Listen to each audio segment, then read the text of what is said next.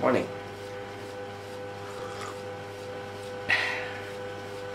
I'm planning on making an intro for all my videos. Um, yeah, they're not all gonna be this lazy.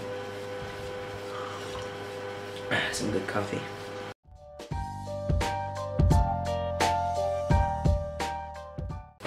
Hey everyone, and uh, back here again in my room, this time at a different angle just to get a good lighting. So, I'm here to talk about something a little bit serious. Nah, who am I kidding? I'm never serious, right?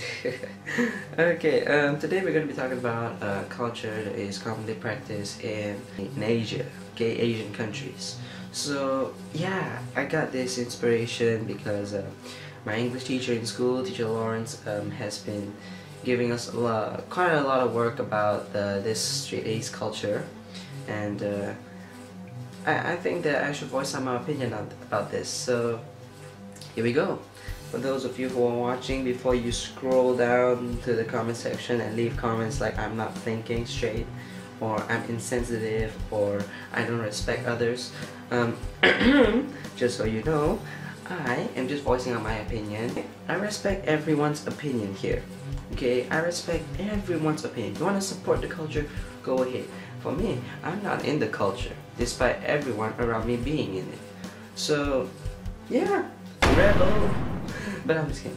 But yeah, I really do not like this culture, and I think it should stop. Um, here's why. What is straight A culture? For those of you who do not know what straight A culture is, it is com it's a culture that's commonly practiced in Asia, like I said. Uh, parents forcing their kids to get excellent marks right off the bat out of nowhere. So let, picture this situation. Timmy, you have exam today, right? If you don't get 95 and above, don't come home, okay? Good day. Yeah, is, is, is that necessary? No. No, it's not. Forcing your kid to get good grades off the bat is not a good thing because you know mm, the problems.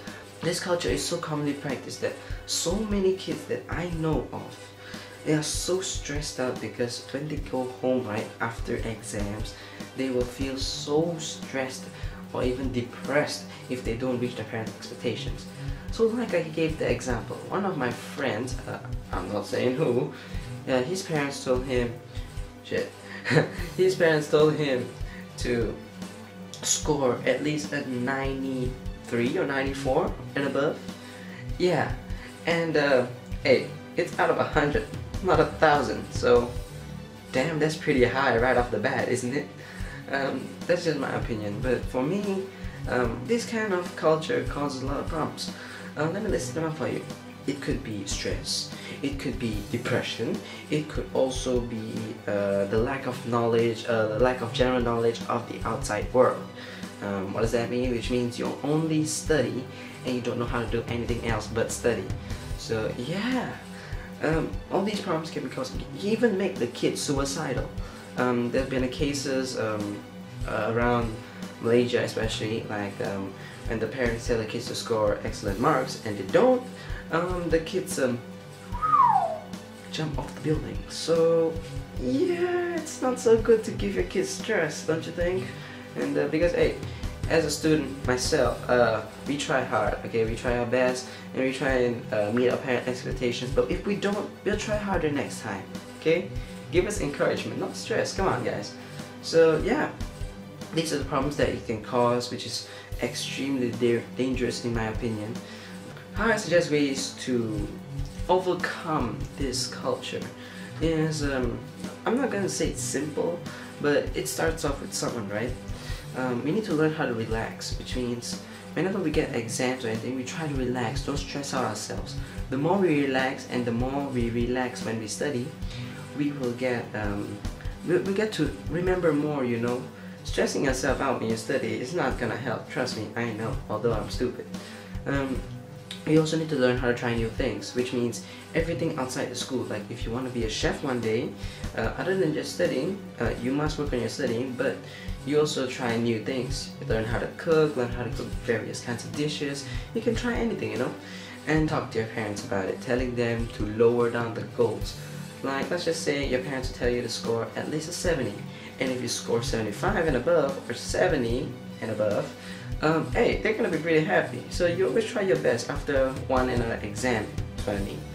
So this is just my my opinions on this culture.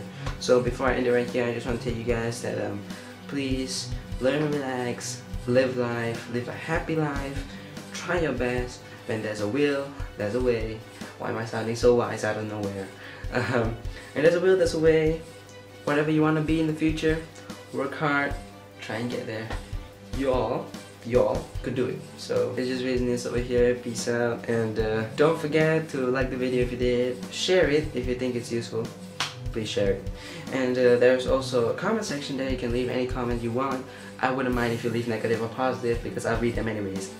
And also, if you haven't subscribed to my channel, Raising Neils over here, you can subscribe. And then, um, yeah, that's just it from me here. Peace out, everyone.